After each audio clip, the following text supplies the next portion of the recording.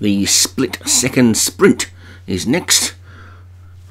Well, it's a five furlong naught to 100 this time. It's not a very big field though. And Harim Gift for Rod McClure is at the top. Bangles for Beck. Stu Gray. Pagani Zonda. Paul Rhodes into the fire. Derek Hinton just a click away. Craig Beckwith and Paul Mamere for Stu Gray. So six runners then. And most of the sprinters got in the lower graded races, I think, today. This week, probably, they're away and racing. These two grey pair are going to get out and dispute the lead. Bangles of Beck pulling for a head, but the grey Paul Mamere is currently the leader, just a click away in third, and then in fourth, Harim Gift. There's a gap then to Pagani Zonda and into the fire are being taken off their feet at the moment by the leading four.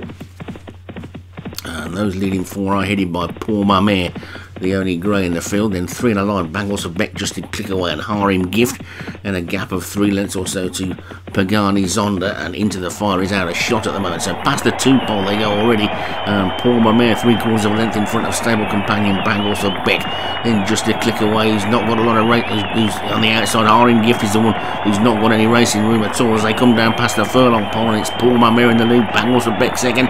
Stu Gray's already had a one-two today. Is he going to have another one? Looks like he might. Paul Mamere and Bangles of Beck are still disputing the lead as they race up towards the line. He's done it again. It's another one-two for mighty Stu Gray. He's come with a rattle at the end of the season, and I think many people have had two one-twos in the space of six races this season, but he's just done it there. Paul Mamere is a winner he'll be pleased about for Stu Gray. Bangles of Beck was second, just a click away. Craig Beckwith was third. Pagani Zonda for Paul Rhodes fourth, and Harim Gift for Rod McClure was fifth. And what is this saying to us? Stu Gray laying down the gauntlet to be back next season as champion training commentator.